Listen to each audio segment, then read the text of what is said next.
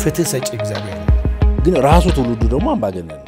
በምንድን ነው አምባገነን? ጥያቄነት የሌለበት ማህበረሰብ መንፈሳዊ ነገሩም የሞተ ነው፣ ፖለቲካውም የሞተ ነው፣ ኢኮኖሚውም የሞተ ነው። የሚጠይቀውን ጥያቄ ለማግኘት extreme የሆኑ መንገዶች ሄዶ ሊሆን ይችላል። አሁን እኔ ይህንን ጠርሙስ አንስቼ ይህን የፕላስቲክ ጠርሙስ አንስቼ ልፈነክትህ ጨርሶ ነው አላስብም። ከመሰረቷ አፍርሷት እያሉ ኢየሩሳሌምን ሲጮሁ አሁን እዚህ ጋር እንግዲህ ልንከራከር ነው ማለት ነው። ትውልዱ አምባገነን የሆነ ስርዓትን ወይም አንዲቷ ንብ በመስኮት ገባች እኔ መኝታ ቤት ውስጥ እኔ ንብ እፈራለሁ።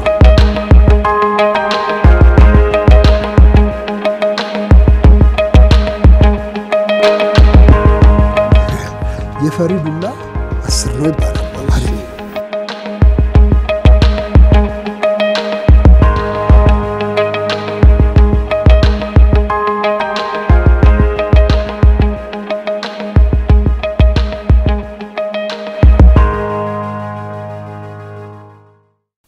የሰላም መድረክ ነው። የሰላም መድረክ የቴሌቪዥን ፕሮግራም በሳምንት አንድ ጊዜ የሚቀርብ ትኩረቱንም በሰላም ግንባታና በግጭት አፈታት ዙሪያ ላይ የሚያደርግ እንዲሁም በአመራርና ተያያዥ ጉዳዮች ጋር ትኩረቱን የሚያደርግ የቴሌቪዥን ፕሮግራም ነው። ተመልካቾቻችን ባለፈው ሳምንት በሰላም ጉዳይ ላይ ያቀረብነውን ፕሮግራም አይታችሁ ገንቢ አስተያየት የሰጣችሁን፣ ደውላችሁ ያበረታታችሁን እንዲሁም ደግሞ የተለያዩ ሀሳብ ያነሳችሁን ሁሉ ይህ ፕሮግራም ያመሰግናል። ዛሬ በሰላም ጉዳይ ላይ እንወያያለን። የዛሬው እንግዳዬ ደራሲና መምህር ስሜ ታደሰ ነው። ስሜ ታደሰ ከአምስት በላይ መጽሐፍቶችን የጻፈ የተለያዩ ርዕሰ ጉዳዮች ላይ ጥናቶችን የሚያቀርብ የወቅቱ ባለሙያ ነው። ስሜ ታደሰ እንኳን ጥሪያችንን አክብረህ ወደ ሰላም መድረክ በሰላም መጣ። አመሰግናለሁኝ። እንግዲህ ዛሬ ትኩረት የምናደርገው ከአንተ ጋር በሰላም ጉዳይ ነው። የሰላም ጉዳይ በዚህ የቴሌቪዥን ፕሮግራም የመጀመሪያውና ትኩረት የምንሰጠው ርዕሰ ጉዳይ ነው። እንደው ሰላም ምንድን ነው ወይም ሰላምን እንዴት ነው የምታየው? እስኪ ከዚህ ብንጀምርስ ጨዋታችንን። በዚህ መድረክ ላይ ስለተጋበዝኩ አስቀድሜ ከልብ ነው የማመሰግነው። ስለ ሰላም መነጋገር ቀላል ርዕሰ ጉዳይ አይደለም። በምድር ላይ ያለውን ወደ ስምንት ቢሊየን ሕዝብን ያማከለ ያ ሕዝብ ደግሞ የሚፈልገው ጉዳይ ነው እና ከዛ የተነሳ ሰላም ምንድን ነው፣ ከሰላም ጋር ደግሞ የተገናኙ ሀሳቦች እንዴት ሊገለጡ ይችላሉ ለሚለው መሰረታዊ ጥያቄ ልመልስ የምችለው ሰላም በህብረተሰባችን ውስጥ እንዴት ተገልጦ እንደነበረ፣ እንዴት ተተርጉሞ እንደነበረ፣ እንዴት ተንሸራሽሮ እንደነበረ በሚያሳይ አካሄድ መልስ ብሰጥ እና በዚህ አካሄድ እንዲሄድ ብትፈቅድልኝ ደስ ይለኛል። ለምሳሌ የመዝገበ ቃል ትርጉሞችን እንውሰድ ብለን ብንል እኔ የቋንቋ አስተማሪ ነኝ። በአማርኛ የማስተማር ስራ ብዙ ዓመት ቆይቻለሁኝ እና የአማርኛ መዝገበ ቃላት ሰላም የሚለውን ነገር እንዴት ነው የተረጎመው ብሎ ማየት ለዚህ መልስ ጥሩ ነው ብዬ አስባለሁኝ። አንድ ወቅት በ1951 ላይ ተጽፎ የነበረ ከሳቴ ብርሃን ተሰማ የሚባል ትልቅ መዝገበ ቃል አለ እና ያ መዝገበ ቃል ሰላምን የተረጎመበት መንገድ እና አሁን በ1993 የኢትዮጵያ ጥናት ተቋም ያዘጋጀው መዝገበ ቃል የአማርኛ መዝገበ ቃል ሰላምን የተረጎመው ለዚህ ጥያቄ መንደርደሪያ እና መልስም ይሆናል ብዬ አስባለሁኝ። የጥንቱን የዛሬ 60 ዓመት የተዘጋጀው መዝገበ ቃል ላይ ሰላም የፍቅር ፍሬ ነገር ይለዋል። የፍቅር ፍሬ ነገር ያማረ የተወደደ የቀና ነገር ፍቅር፣ አንድነት፣ መስማማት፣ በሀሳብ በስራ መግባባት ካለ በኋላ ይህ የኔ ነው ያንተ አይደለም እየተባባሉ አለመቅናት፣ እንደ አንድ ነፍስ እንደ አንድ ስጋ መሆን ብሎ ይተረጉመዋል ገጽ 230 ላይ እና ይሄ በጣም በሚያስደንቅ መንገድ ስጋዊውን ከመንፈሳዊ ጋር አቀላቅሎ አዳምሮ ሰላም ምን እንደሆነ ይገልጽልኛል።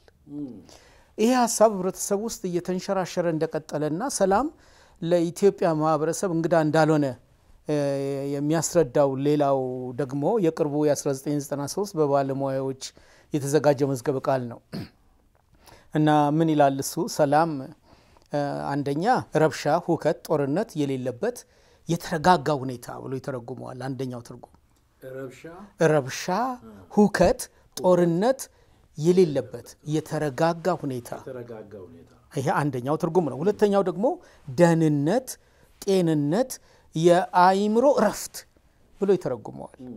ይሄ በኢትዮጵያ ሊቃውንት የኢትዮጵያ ማህበረሰብ ሰላምን ተረድቶ ሰላም ምን ማለት ነው ብሎ ለሚጠይቅ ለየትኛውም ሰው መዝገበ ቃል ተመልከት ብለ ስታስረዳው ከዛ አይቶ የሚረዳው እውነታ ነው። ይህን ትርጉም ህብረተሰቡ ወይም ደግሞ መዝገበ ቃል አዘጋጆቹ ከኪሳቸው አውጥተው አይደለም ከህብረተሰቡ ውስጥ ፈልቅቀው አውጥተው ሰላም ማለት ይሄ ነው ብለው ተረጎሙት እና ጻፉ። ከነባራዊ ሁኔታ ሰው ከሚፈልገው የህይወት አቅጣጫ ተነስተው መዝገበ ቃሉ በዚህ አይነት መንገድ ተዘጋጀ። ይሄ ሰላም የሚለውን ትርጓሜ ይሰጠናል። ሰላም ምንድን ነው ብለን ስናስብ ከረብሻ ነፃ የሆነ ሁከት የሌለበት ጦርነት የሌለበት የተረጋጋ ህይወት የአይምሮ እረፍት እንደሆነ ማናችንም እንረዳለን። ያንን እንግዲህ ሰላም ብለን የምንጠራውን በራሳችን መዝገበ ቃል የሰፈረውን ሊያደፈርስ የሚችሉ ነገሮች ደግሞ ጎን ለጎን ይኖራሉ እና ያ ጎን ለጎን ሲኖር ያንን ለመከላከል የመስራት አቅጣጫዎች ይኖራሉ። አሁንም ሰላምን ለመግለጥ አሁን ጥሩ ነገር አነሳ፣ አብረህ እንድታየው ፈልጌ ነው። ስለዚህ ሰላም ማለት ረብሻና ህውከት የሌለበት ነው የሚለው የመዝገበ ቃላት ትርጉማችን። ይሄ ከቆየው ከማህበረሰቡ ከነባራዊ ሁኔታ ተነስተው ሊቃውንት የተረጎሙት ነው። አሁን ከዚህ ትርጉም ተነስተን ስናይ በሀገር ደረጃ ያለንበትን ሁኔታ እስኪ እንደ መንደርደሪያ ያየ ነው አብረን እንሄድ። አሁን ሀገራችን በከፍተኛ ቀውስ ውስጥ በከፍተኛ ረብሻ ውስጥ በከፍተኛ ምስቅልቅል ውስጥ ትገኛለች እና ከመዝገበ ቃላት ፍቹ በተቃርኖ ነው ያለ ነው ብለን ማለት እንችላለን።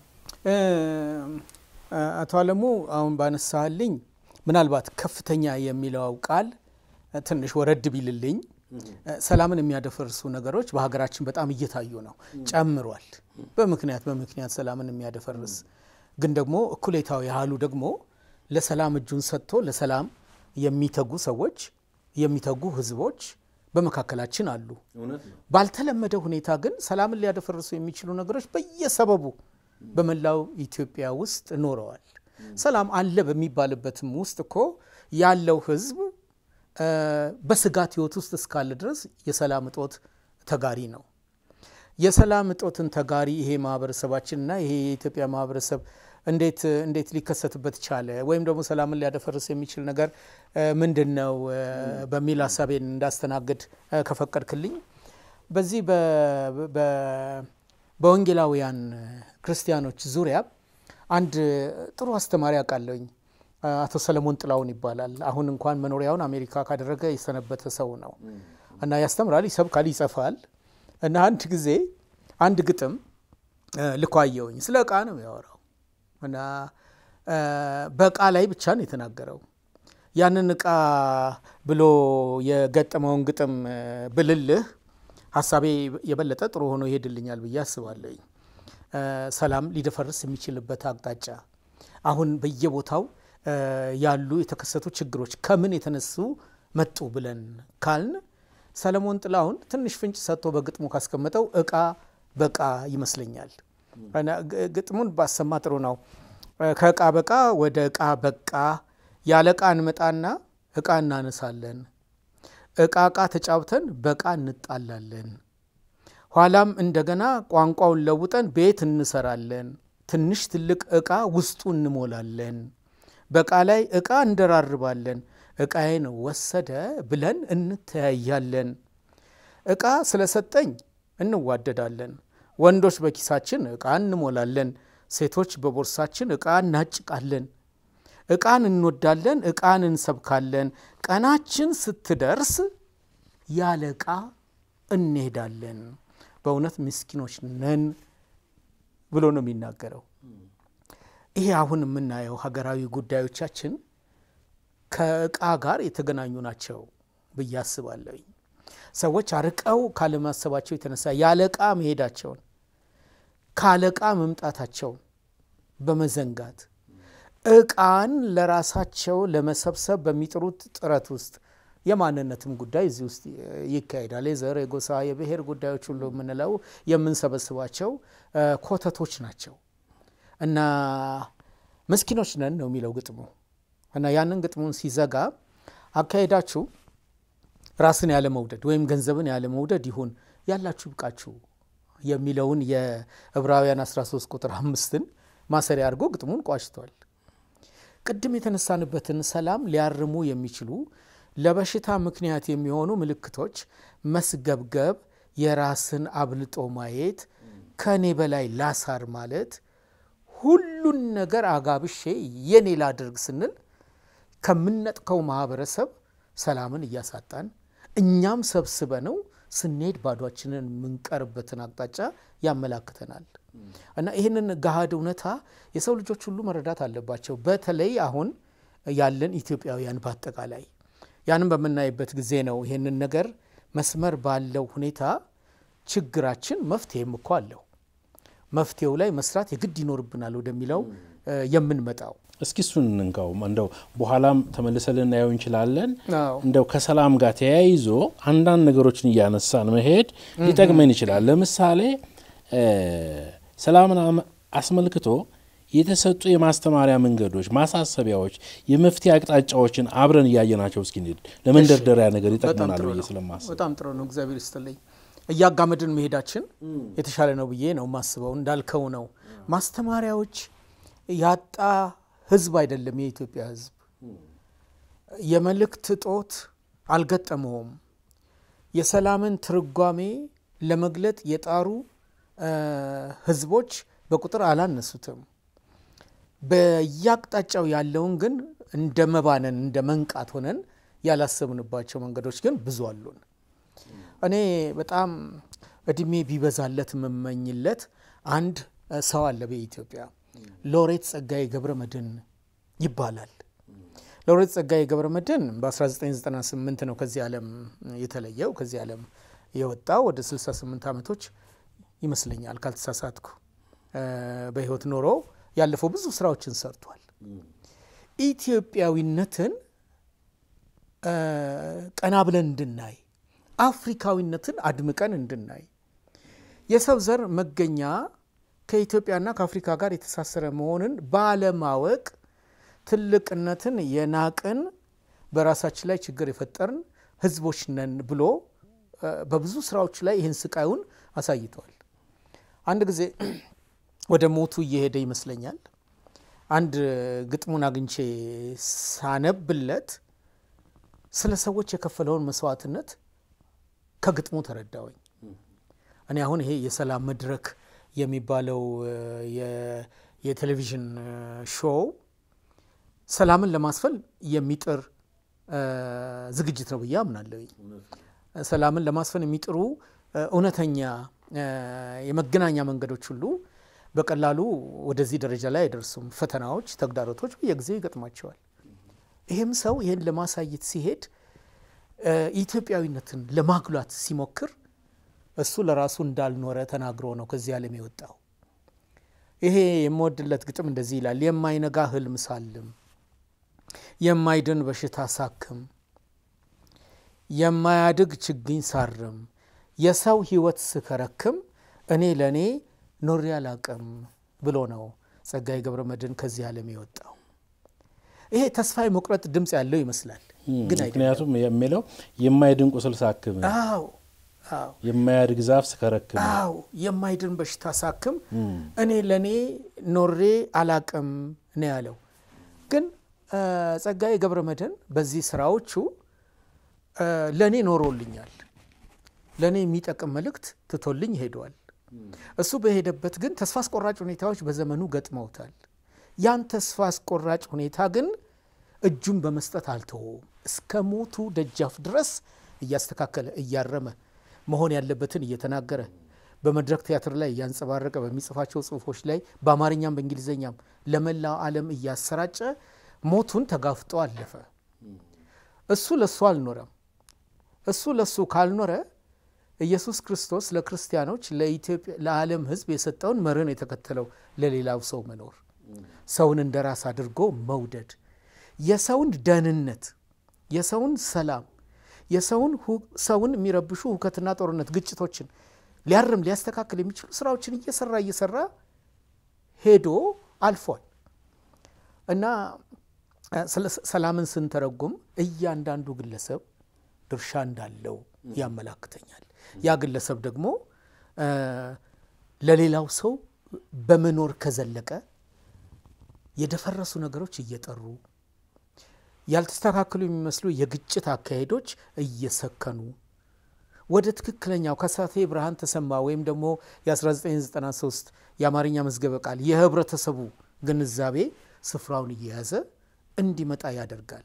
ስለዚህ ስለ ሰላም ስንነጋገር ሀገራችንን ግምት ውስጥ ከተን ስንነጋገር እያንዳንዱ ከመቶ ሚሊየን በላይ የሆነ የኢትዮጵያ ሕዝብ ሰላምን ለማስፈን ግላዊ ድርሻ አለበት፣ ማህበራዊ ድርሻም አለበት። እነዚህን ድርሻዎች እየተወጣን ስንሄድ ውጤታማ እንሆናለን። በዚህ በሰላም መድረክ ላይ እኔ ያንተ ዝግጅት ስለሆነ ብዬ አይደለም አንተ ራስህ የጻፍከው ይሄ የግጭት አፈታትና አያያዝ ጥበብ አንድ ትልቅ ቁም ነገር ለእኔ ስለሰጠኝ አሁን ለጠየቀኝ ለጠየቀኝ መልስ ሰጥቶኛል። እሱን ልጠቁም ብችል ምናልባት ሀሳቡን የበለጠ ያስተናግዳል ብዬ አስባለሁኝ።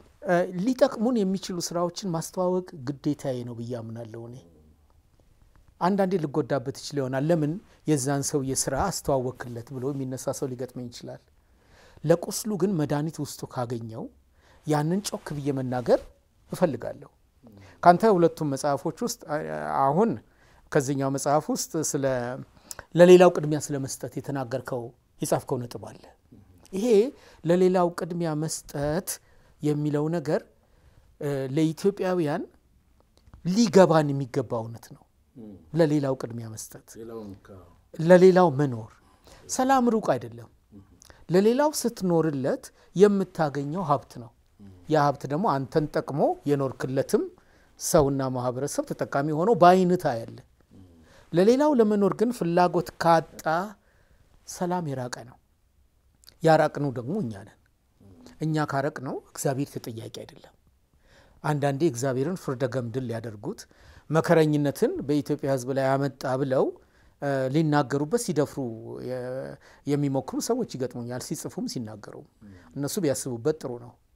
እግዚአብሔር ለእኛ የሰጠን ኃላፊነቶች አሉ ልናደርገው የምንችል ስለዚህ አሁን እያልከኝ ያለው ለሰላም መደፍረስም ሆነ ለሰላም መምጣት ዜጎች፣ ማህበረሰቡ የራሱ ድርሻ አለው። ምንም ጥርጥር የለውም። በዚህ በአንተ ስራ ውስጥ ገጽ 196 ስራህን ስታጠናቀቅ ያልከው ለሌላ ቅድሚያ መስጠት የሚል ነው።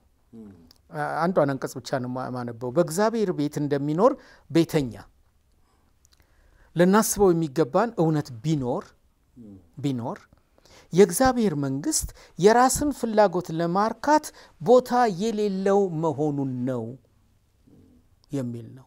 የራስን ፍላጎት ለማርካት ቦታ የሌለበት ስፍራ ከተፈለገ የእግዚአብሔር መንግስት ነው። የእግዚአብሔር መንግስት የራስን ፍላጎት ለማርካት ቦታ የሌለው ነው ካለ ክርስትና አሴሆል ማህበራዊ ህይወት ነው። ለሌላው ሰው የምትኖረው ህይወት ነው። ግለኝነት የሚባል ነገር ክርስትና ውስጥ ፈጽሞ የለም፣ ፈጽሞ የለም። በዛ ረፍተ ነገር ይልቁኑ ከኔ ይልቅ ለባልንጀራዬ የሚለው መርህ ልቆ የወጣና ትልቅ ትኩረት የሚሰጠው እውነት ነው ይላል መጽሐፉ። ትልቅ ትኩረት የሚሰጠው እውነት ነው። ምንድን ነው እሱ? ከኔ ይልቅ ለባልንጀራዬ የሚለው ሰው እንደ ራስ አድርጎ መውደድ ማለት ነው እኮ በሌላ አነጋገር አንተም አትጎዳበትም እኔ በምወደው ራሴን ልክ ሌላውን መውደድ ነው።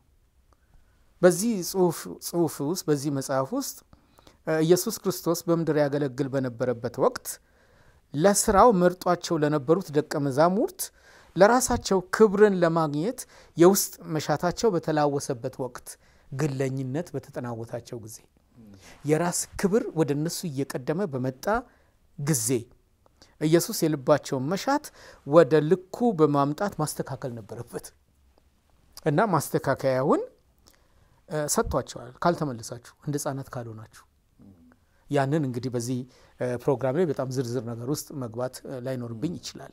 መመለስ ያስፈልጋል። ትህትናና ታዛዥነትን ሊገልጽ በሚችል መንገድ ራስን ማዘጋጀት አስፈላጊ ነው ብዬ አስባለሁኝ። አንዱ መፍትሄ ነው ይሄ። ስለዚህ አንዱ መፍትሄ ከኔ ይልቅ ሌላው ይቅደም የሚለው ሀሳብ ይጠቅመናል ብለን መያዝ እንችላለን። በጣም በጣም የግድም የግድም ጌታችን ኢየሱስ ክርስቶስ እኮ ለሌሎች ኖሮ ነው የሞተው። ለሌሎች ኖሮ ነው መስዋዕት የሆነው። ሌሎችን ሊያተርፍ ነው እሱ በጉስቁልና ውስጥ የሄደው። ያ አሻራ እኮ ወንድማችንን በመውደድ ልክ መገለጽ አለበት። እሱ እኛን እንደወደደ እኛ ደግሞ ሌሎችን መውደድ አለብን። ሌሎችን ብሎ ሲል የእግዚአብሔር ቃል በተለይ በአንደኛ ዮሐንስ ምዕራፍ ሶስት ላይ በሁኔታዎች ላይ ተመችቶ አይደለም የአንተ ቢጤዎቹን ምናልባት ወንጌላውያንን ወይም የአንተን ቤተሰብ ብቻ አይደለም የሰው ልጆችን በሙሉ ጥሩ ነገር ነው እያነሳን ያለ ነው። ስሜ ከዚህ አንደርድሬ ደግሞ ሌላ ነገር ላንሳለ አብረን እንድናየው እየተያያዘ ነው። እንግዲህ ተመልካቾቻችን ነገሮችን በየፈርጁ በዛው ላይ እየደመርን እንሄዳለን። እስኪ ደግሞ ከሰላም አለቃና ከሰላም ሚኒስቴር ይላል በ2011 ላይ ያወጣው መጽሐፍህ ላይ የመጨረሻው መደምደሚያ ምዕራፍህ ወይ መደምደሚያ ሀሳብ ይህን ሀሳብ ተጠቅመሃል። የሰላም አለቃና የሰላም ሚኒስቴር የሚል ሀሳብ አንስተሃል። እንደው ይሄ ከሰላም አንጻር ምን ልትለን ፈልገ ይሆን? የሰላም አለቃና የሰላም ሚኒስቴር በኢትዮጵያ የሚለው አሁን በዚህ በቅርብ እግዚአብሔር ረድቶኝ ካሳተምኩት ከዚህ ከካሪዝማዊ ለውጦች እና ነውጦች በኢትዮጵያና ሌሎች የሚለው የመጨረሻ ጽሁፌ ነው። የመጨረሻ የሚያደረግኩት ሆን ብዬ ነው። ሁሉ ምዕራፎቼ ሊደመደሙ የሚገባው ሰላምና ሰላም ነክ ነገሮችን ብቻ አንስተን አጉልተን ማን ነው ታዲያ የሰላም መሰረት ጣይ ለሚለው ጥያቄ መልስ ሰጠን ራሳችንን ካገኘን ብቻ ነው ብዬ አምኜ ነው የሰላም አለቃና የሰላም ሚኒስቴር በኢትዮጵያ የሚል ርዕስ ነው የሰጠሁት። እርግጥ ምናልባት ከፈቀድክልኝ ወደ እሱ ሀሳብ እንድሻገር የሚረዳኝን አንድ ነጥብ ከመሪዎች ጋር አንስቼ ወደ ሰላምና ብሸጋገር የበለጠ ሀሳቡ ይደምቅልኛል ብዬ አስባለኝ። ሰላምን በማደፍረስ መሪዎች ኃላፊነታቸውን ሳይወጡ ሲቀሩ መሪዎች ሁከትን፣ ጦርነትን፣ ግድያን በአመራራቸው አማካኝነት ሊያስገኙ እና ሊያመጡ የሚችሉ እነሱ እንደሆኑ ለማስረዳት ብሞክር ደስ ይለኛል። በአንድ ስርሃ ላይ አመራርና ተጠያቂነት የሚል መጽሐፍ አለ እና ያን አመራርና ተጠያቂነት ከሰላም ሚኒስትራችን ጋር አያይዤ ስለማመጣው ሀሳቡን በደንብ ለማስኬድ እሞክራለሁ። ይሄ አመራርና ተጠያቂነት ወቅታዊ መጽሐፍ ነው ብዬ ነው የማምነው። እዛ ላይ ስለ መሪዎች አንድ ያነሳው ነገር አለ። ያንን ከመሪዎች ጋር የተገናኘውን ነገር ከኛ የኢትዮጵያ የሰላም ሚኒስቴር ጋር አገናኝቼ እንደገና የሰላም አለቃ ክቡር ሙፋሪት ሳይሆኑ ኢየሱስ ክርስቶስ ነው የሰላም አለቃ የሰላም አለቃ እና እሳቸው የሰላም ሚኒስቴር ናቸው። እሳቸው በኢትዮጵያ የሰላም ሚኒስቴር ናቸው። የሰላም አለቃ ግን ኢየሱስ ክርስቶስ ነው እና እሳቸውንና ኢየሱስ ክርስቶስን አገናኝቼ መምጣት እንድችል እሳቸውን በመሪነት ቦታ ላይ ያሉ ስለሆኑ አሁን በወቅቱ ደግሞ ብዙ መሪዎች በኢትዮጵያ ውስጥ አሉ። በየዘርፉ መሪዎች አሉ። በቤተ ክርስቲያን መሪዎች አሉ። ሰላም ከመሪዎች ጋር ስለሚያያዝ ነው በእርግጠኝነት ይያያዛል። እና በዚህ አመራርና ተጠያቂነትን መጽሐፍ ታትሞ በወጣ ጊዜ ሳነበው የተዋጣላቸው መሪዎች ተመቸም አልተመቸም በየትኛውም የመሪነት ስፍራ ቢቀመጡ ተግዳሮቶችን በድል በመወጣት በሌሎች ላይ በጎ ተጽዕኖ መፍጠር ይችላሉ ብልሃል። እኔ መቼም ጋዜጠኛ ሆኜ የራሴ ሾው ቢኖረኝ ለምን አልክ ብዬ ጠይቀ ነበረ። ግን የተረዳሁትን ከአንተ ጥናት ላይ ተነስቼ እውነት ነው ብዬ ለመናገር እደፍራለሁ። ዛሬ መሪዎች ዛሬ በኢትዮጵያ መሪዎች ኃላፊነታቸውን ባለመወጣት ያላቸውን ኃላፊነት እንደ ቀላል ነገር በመቁጠር ለእርስ በርስ እልቂት ምክንያት ሆነውብናል። ይሄ በጣም አሳዛኝ የእኛ ትራጀዲ ነው። ከየትም መጥቶ አይደለም፣ ከመሪዎች ጥፋት የመጣ እልቂት ነው። ያን ለማስረዳት እኔ አንድ ጥሩ ስራ ላስተዋውቅ እፈልጋለሁ በዚህ ሰዓት ጦቢያ የሚባል መጽሐፍ ታውቃለህ? በጣም በጣም ጦቢያ የዛሬ መቶ አስራ ሁለት ዓመት ታትሞ ለንባብ የበቃ ነው። አፈወርቅ ገብረ ኢየሱስ የጻፉት ነው። እኛ አፈወርቅ ገብረ ኢየሱስ የጻፉት ጦቢያ የሚለው መጽሐፍ በአፍሪካ ደረጃ የመጀመሪያው አፍሪካዊ ልቦወለድም ተብሎ ይጠራል። በነገራችን ላይ አፍሪካዊ ልቦወለድ ስላለን የመጀመሪያው በአማርኛ ተዘጋጅቶ ስላገኘ ደስ ሊለን ይገባል። ይህንን ጦቢያ አሁን በማስተምርበት በ Sandford International School ውስጥ ተማሪዎች የመመረቂያ ጽሁፋቸውን ይሰሩበታል እና ሁለት ተማሪዎቼ የመመረቂያ ጽሁፋቸውን በ2009 ዓ ም በዚህ መጽሐፍ ላይ ነው የሰሩት። አንደኛዋ የሙስሊም እምነት ተከታይ ነች። አንደኛዋ የክርስትና እምነት ተከታይ ናት። በመጽሐፉ ላይ ያገኙት የጥናት ውጤት እኔን ስላማለለኝ እና ልክ ነው ብዬ እንዳምን ስላደረገኝ 1920 ዓመት ዕድሜ አይሞላቸውም ልጆቹ። ይህንን ጦቢያን እያጠኑ ሲሄዱ በነገራችን ላይ ጦቢያን አንዳንድ ሰዎች የሃይማኖት ውዝግብ የሚያነሳ በእስልምናና በክርስትና መካከል ያለ ግጭትን የሚፈጥር መጽሐፍ ነው ብለው ጽፈውበታል። ብዙ ጸሐፊዎች ጽፈዋል። ለምሳሌ መሐመድ አሊ ድሪስ እስልምናና ሙስሊሞች በአማርኛ ስነ ጽሁፍ በሚለው ውስጥ ይህን መጽሐፍ አብጠልጥሎ ጥሎታል። እሱ ግን አስፍቶ አርቆ አላየውም። እነዚህ ሁለት ተማሪዎች የሰጡኝን ፍንጭ ሳይ በጦቢያ መጽሐፍ ውስጥ ያሉ የህዝብ እልቂት የመጣው ከማንም አልነበረም፣ ከህዝቡ መሪዎች ነበር። ስለዚህ ለተፈጠረው ችግር የመሪዎቹ ሚና ከፍተኛ ነው። የመሪዎቹ ሚና በጣም በጣም ሰፊ ነበር። ያ ደግሞ black and white ሆኖ በነጭ እና በጥቁር ተጽፏል እዛ ላይ ምንጊዜም አንድ ነገር ላቋርጥ፣ ቦታውን እንዳትረሳ እንድታያይዘው ፈልጋለሁ። አሁን ወደ ዋናው ነገር እየገባን ነው። ተመልካቾቻችንም በጣም እየተከታተሉ ነው ይህን ሀሳብ። ስለዚህ በጦቢያ መጽሔት ላይ ያገኘኸው ጭብጥ የልጆቹ ጥናት ውጤት የሚያሳይህ የመጣው እልቂትና ጉዳት መንስኤው መሪዎቹ ናቸው የሚል ድምዳሜ ነው ያላቸው ጥናት ነው ይሄ ነው። ስለዚህ ዛሬ እንደ ሀገር ላለንበት እንደ ማህበረሰብ ለገጠመን ለዚህ ሀገራዊ ቀውስ ወይ ሀገራዊ ግጭት ወይ ሀገራዊ እርስ በርስ መጎዳዳት የመሪዎቹ ሚና ከፍተኛ ነው ብለህ ታምናለህ? አለ ጥርጥር ሰፊ ጥናት የሚጠይቅ አይመስለኝም። ይሄ መሪዎች ለግጭትና ላለመግባባት በታሪክ ውስጥ መንስኤ ሆነው ታይተዋል። የየግል ሕይወታቸውን እናጥና ብለን ካል ይህን ማየት እንችላለን።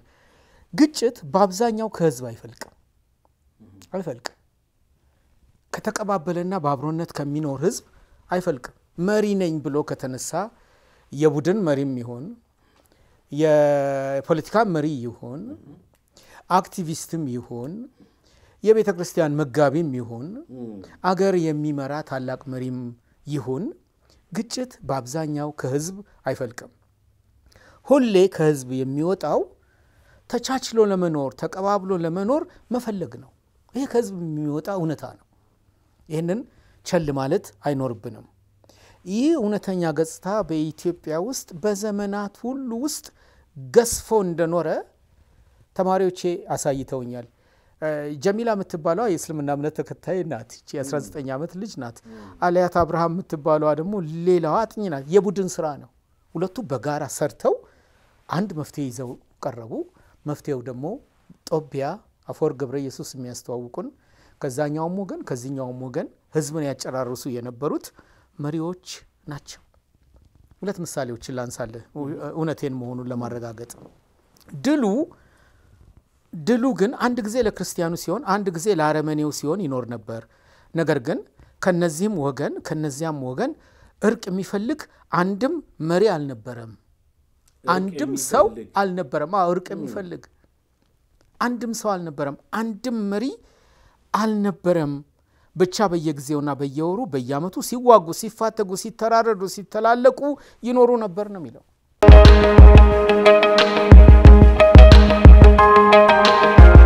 ultimately እኮ ፍትህ ሰጪ እግዚአብሔር ነው። ግን ራሱ ትውልዱ ደግሞ አምባገነን ነው። በምንድን ነው አምባገነን? ጥያቄነት የሌለበት ማህበረሰብ መንፈሳዊ ነገሩም የሞተ ነው፣ ፖለቲካውም የሞተ ነው፣ ኢኮኖሚውም የሞተ ነው። የሚጠይቀውን ጥያቄ ለማግኘት extreme የሆኑ መንገዶች ሄዶ ሊሆን ይችላል። አሁን እኔ ይህንን ጠርሙስ አንስቼ ይህን የፕላስቲክ ጠርሙስ አንስቼ ልፈነክትህ ጨርሶ ነው አላስብም። ከመሰረቷ አፍርሷት እያሉ ኢየሩሳሌምን ሲጮሁ አሁን እዚህ ጋር እንግዲህ ልንከራከር ነው ማለት ነው። ትውልዱ አምባገነን የሆነ ስርዓትን አንዲቷ በመስኮት ገባች እኔ መኝታ ቤት ውስጥ እኔ ንብ እፈራለሁ።